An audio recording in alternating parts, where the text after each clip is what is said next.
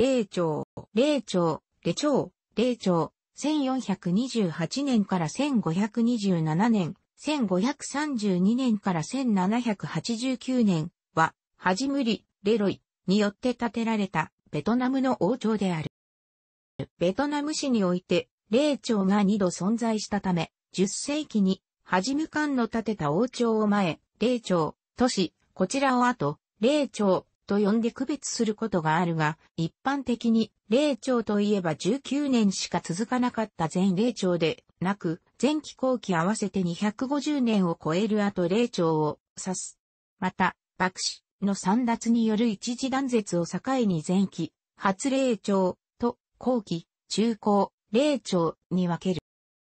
15世紀初頭に民はベトナムを支配下に置いていたが、1407年から1427年、これに対し、新華地方給料部の小首長、はじむり、無音族との説もあるが挙兵した。長期のゲリラ戦を経て、民の勢力を国外へ放逐し、1428年に現在のハノイで皇帝に即位。国号を大越とした。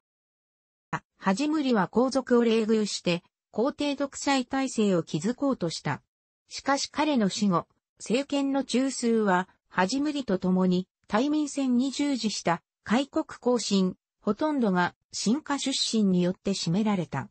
開国行進は、歴代皇帝や彼ら相互に婚姻関係を結び、地方に多くの領地を有する軍事貴族として政権を主導した。前期、霊長の歴史は、開国行進とその子孫間の権力闘争が帝位継承争いと結びつくで推移した。内政面では国内を5道に分け、その下を府県者に分割し、地方行政制度を整備するとともに、国庫間などの教育面の充実とそれに伴う管理養成制度を定め、土地台帳や戸籍を整備し公電分配の制度を定めるなど、建国初期の諸政策を実行している。1434年に、はじむりが崩御すると、その自主である大僧が即位した。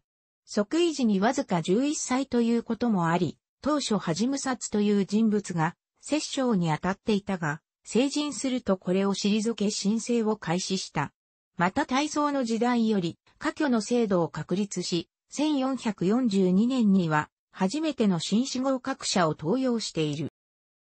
1443年に、人相がわずか2歳で即位すると、この頃より霊長と、チャンパ王国、戦場との紛争が続いた。チャンパとの戦いの中で、チャンパをマハーブ社を捕虜にするなど、軍事的にも充実した時期を迎えた。しかし聖母養子が体操の寵愛を失い即位できなかったことを恨んだ。はじむ義民、人相のイボニーが1459年に宮城に侵入、人相とその聖母はじむ氏を殺害して自ら帝位につくという事件が発生した。ここに霊長朝廷に混乱が生じたが、1460年には、元沖や帝列などの勢力が始む余民を廃し、体操の第四個である、清州を擁立している。清州の時代は、民との友好関係が維持されたのに対し、チャンパとの対立が深まった時代である。1470年に、チャンパ第15王朝、第二大王であるバン・ラチャトアンがバケ州に侵攻。これに対し清州は25万の軍勢による申請を実施、チャンパの首都であるを攻略、ラチャトアンを捕虜にし、チャンパ王朝を隷属させることに成功している。この他ラオスに存在した。ランサーンの攻略も行いその他律令制度の整備。などによって繁栄を迎えた。清州は構想で疲弊した。開国更新勢力と自らが取り立てた。可挙官僚軍とのバランスの上に立ってシルベ県を回復、維持した。しかしその繁栄も続かず、時代の剣僧が創生し、その子である、畜僧、異木帝が相次いで即位したが、国政は水尾へとたどり続けた。特に、木帝の暴虐ぶりは、民主である元天鈴から、起王と記録されるほどであり、この事態に1509年、重帝のハジムを中心とするクーデターが発生し、ハジムアとして即位した。しかし上翼帝も即位後は、凶楽にふけり、喪失を殺害するなどの暴虐を尽くしたことから、反乱が続発、1516年に殺害され、続いてが即位することとなった。この時期になると朝廷内の献身が紙幣を持って構想を繰り広げるようになった。この状況下、召州が海洋出身の武人、幕東洋、幕団ズ MCNG 団に朝廷軍の指揮を委ねると、幕東洋の戦王が強まり、その戦王に身の危険を感じた、召州は宮城を脱出、西京、新下の帝安氏の下に身を寄せた。幕東洋は、召州追跡の軍勢を差し向けると同時に、召州の弟を擁立した。こうして、教皇を押す幕東洋と、召州を押す帝安氏の間での構想となった。この構想は、幕東洋が有利に戦いを進め、1525年には、召州を南京して1527年に、これを殺害するとともに、教皇に前場を迫り、ここに、霊長は滅亡した。幕東洋により霊長は滅亡したが、霊長の急進であった、元赤は1532年に、はじむやすし、召集を擁立して、反幕運動を展開。翌年には、はじむやすしを皇帝に即位させ、霊長の最高を唱えた。武力による幕長との対立以外にも、明朝へ帝忠を検視し、はじむやすしのベトナムにおける正当性の承認を求めるとともに、参奪者である幕東洋への問題を求めている。後期、霊長の実験は元赤が掌握していたが、幕長の後進に暗殺され、娘婿の帝権が後を継いだ。これ以降、霊長の実験を掌握する帝師と幕師との間で内戦が続いた。1592年、帝権の子である帝松が実験を掌握すると間もなく、ハノイを奪取した帝松はナーサの君主である幕茂博を殺害。ここに霊長の最高、後期、霊長が実現した。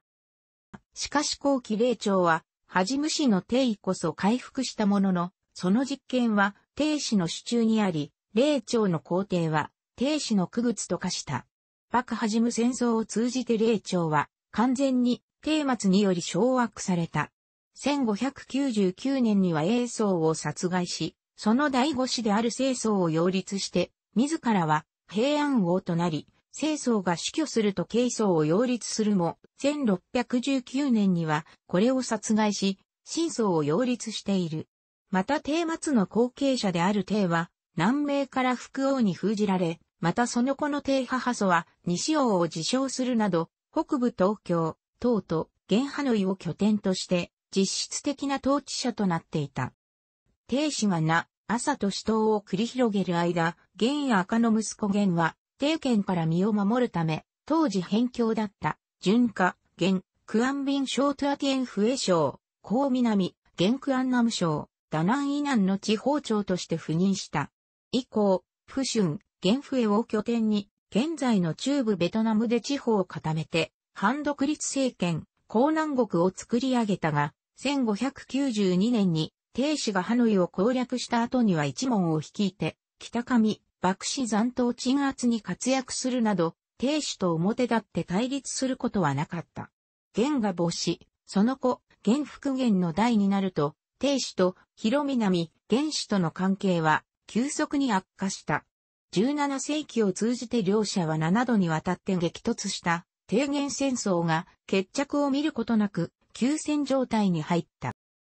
1771年に南方を支配していた原始に対する西山の乱が発生。原始勢力が滅ぼされると、はじむ帝の実権回復を唱えるその軍は、一族内の内向により、正常が動揺していた停止討伐に向かい、1786年に停止勢力を滅亡させた。なおも、ハノイで距離を保持していたは1788年、西山町の影響力を排除しようと、新町の援軍を得て、反撃に出たが、現文江率いる軍にドンダーの戦いで敗れて、新亡命、これにより霊長は滅亡した。